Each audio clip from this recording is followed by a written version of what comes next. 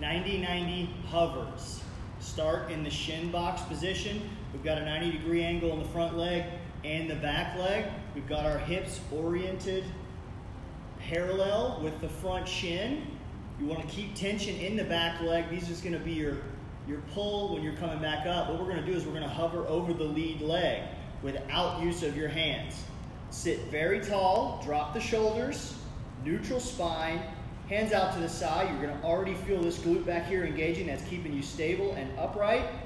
Lowering slowly, driving the front knee into the ground and pressing the back knee into the ground as well. Nice squeeze. Go as far as you can while in control.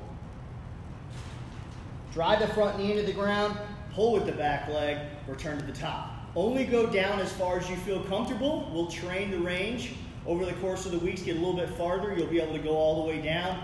Feel like you're pulling with your posterior chain and your core. Everything's going to come together. Just may take a little bit of time. Good luck.